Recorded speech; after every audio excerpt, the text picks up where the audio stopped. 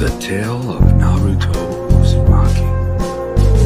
Somewhere along the way, I stopped being the best at things I always used to excel at. It used to be my best grew smaller and smaller. I started thinking it was all pointless. It made no sense. Working my hardest at school seemed stupid.